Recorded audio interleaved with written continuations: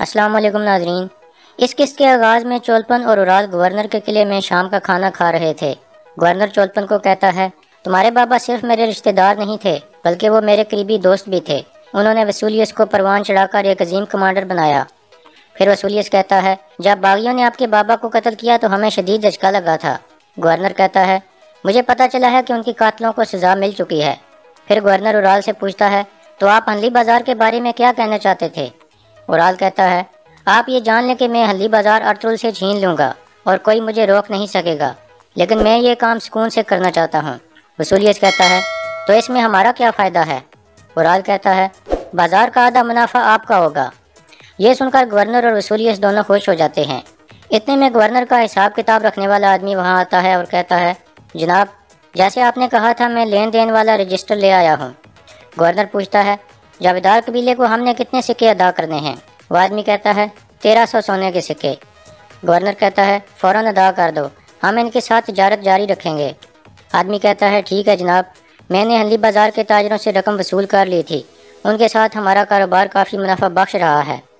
यह सुनकर वसूलियत फ़ौरन उसे पकड़ लेता है और उसका गला काट कर उसे मेज़ पर फेंक देता है। फिर सिक्कों की पोटी उठाकर उड़ाल के आगे रख देता है और कहता है, इस कमीने ने बाज़ार के साथ तजारत करके हमारी खिलाफ वर्जी की है। मैंने वही किया जो ज़रूरी था। मुझे उम्मीद है कि आप अपने अल्फाज पर कायम रहोगे उराल साहब।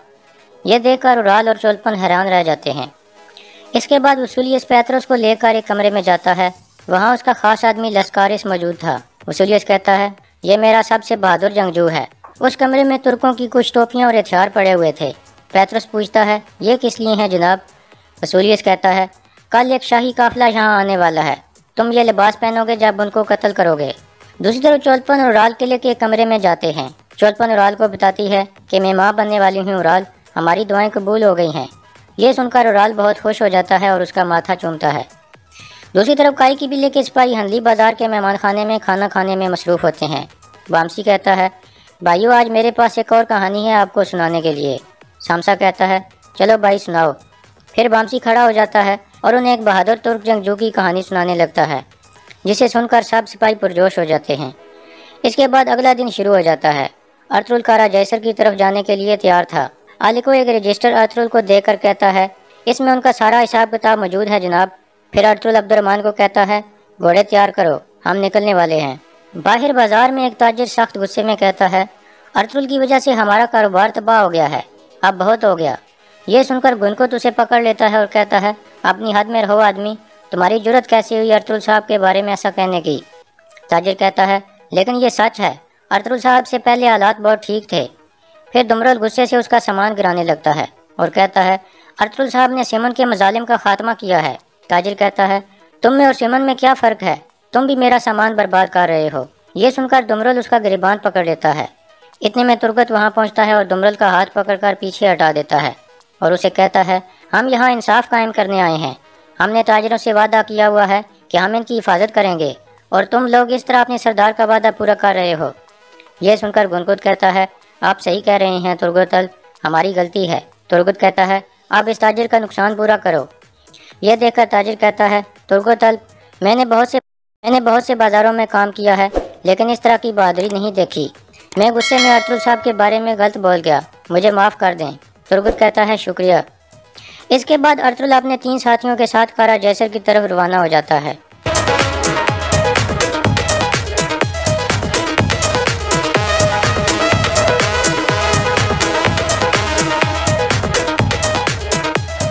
दूसरी तरफ़ काई की बिल्ली में बानो जी के अंदर आकर बताती है कि जानदार साहब आए हैं और वो अर्तुल साहब से मिलना चाहते हैं।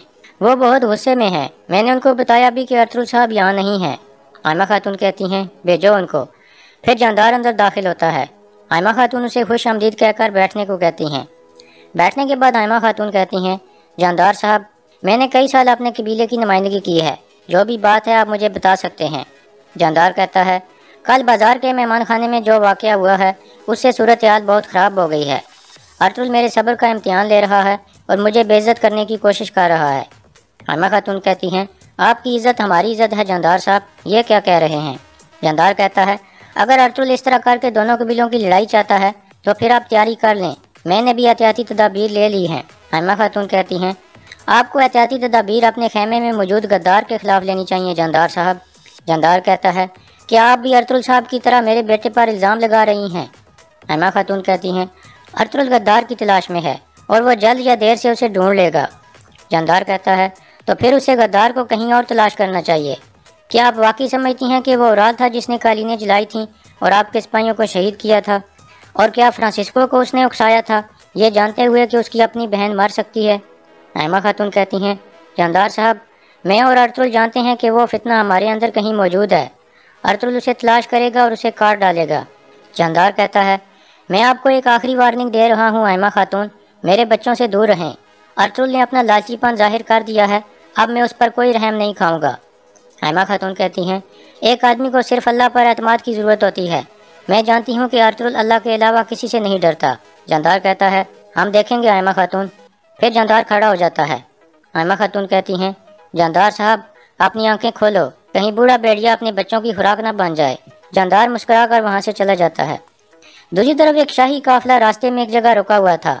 उसमें गवर्नर की बेटी हेलेना और उसका मंगेतर भी शामिल था। हेलेना कहती है मुझे बाबा से दोबारा मिलने की बहुत खुशी हो रही है। इतने में उनके काफिले पर हमला हो जाता है। कुछ पाई तीरों का निशाना बन जाते हैं। फिर चारों तरफ़ से बहुत सारे आदमी आ जाते हैं और उन पर हमला कर देते हैं। हेलेना एक तरफ़ छुप कर देखने लगती है। कुछ देर बाद उसका मंगेतर मारा जाता है। ये देखकर हेलेना बहुत परेशान हो जाती है और वहाँ से भागने लगती है। इतने में पीछे से पैतरस उसका निशाना लेकर तीर चला देता है, जो हेलेना के कंधे में जाकर लगता है। वो एक बार गिरती है, लेकिन फिर भागने लगती है। पैतरस अपने आदमियों को कहता है, पकड़ो इसको। जिसके बाद बहुत सारे आदमी उसके पीछे लग जाते हैं।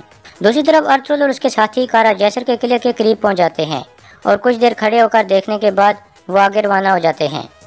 थोड़ी देर बाद वो किले के मरकजी दरवाजे पर पहुँच जाते हैं।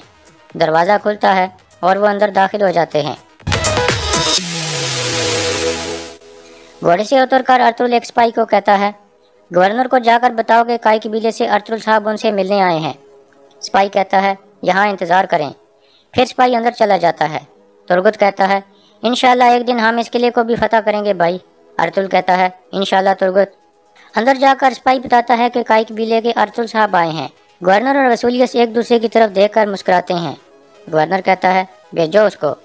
फिर गवर्नर वसूलियस को कहता है, वो सीधा हमारे जाल में चल कर आ गया है। अगर ऐसे ही जारी रहा तो हम जल्द तुर्कों से छुटकारा हासिल कर लेंगे। दूसरी तरफ़ उराल वापस अपने कबीले में पहुँच जाता है और कहता है, मैंने अपने सारे सिक्के वसूल कर लिए हैं, बाबा। जानदार कहता है, तुमने दोबारा मेरा सर फखर से बुलंद कर दिया है, बेटा। अगर मैंने पहले तुम्हारी बात सुनी होती तो आज हंली बाज़ार हमारा होता। उराल कहता है, आप यकीन रखें बाबा, उसके लिए काफ़ी वक्त है अभी। फिर चोलपन जानदार को भी खुशखबरी सुनाती है कि मैं माँ बनने वाली हूँ। ये सुनकर जानदार खुशी से खड़ा हो जाता है और अल्लाह का शुक्र अदा करता है। इतने में एक अंदर आकर कहता है अमीर सादुद्दीन आए हैं। जानदार कहता है, उन्हें फ़ौरन अंदर लाओ। फिर सादुद्दीन अंदर दाखिल होता है। वह दोनों पुरजोशी से एक दूसरे को मिलते हैं। फिर सादुद्दीन कहता है, कई सालों के बाद हम दोबारा मिल गए हैं। जानदार कहता है, आपने हमारे कबीले को शर्फ बख्शा है, अमीर हज़रत। सादुद्दीन कहता है, सुल्तान ने मुझे इन ज़मीनों पर अमन कायम करने के लिए भेजा है। मैं कुछ दिन आपका मेहमान बनूँगा। जानदार कहता है, आपको बहुत खुश आमदीद है, अमीर हज़रत। फिर सादुद्दीन बैठ जाता है और कहता है मैं जब तक इस इलाके का अमन ख़राब करने वालों से ना निपट लूँ, तब तक वापस नहीं जाऊँगा। बुराल हँसते हुए कहता है, फिर तो हमें अर्तुल का शुक्र गुजार होना चाहिए। और यहाँ इस किस्त का अख्ताम हो जाता है।